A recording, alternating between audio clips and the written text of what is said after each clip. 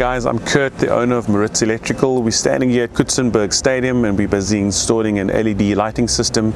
Come and chat to us for any of your stadium, your sports field lighting needs, uh, and we'll sort you out.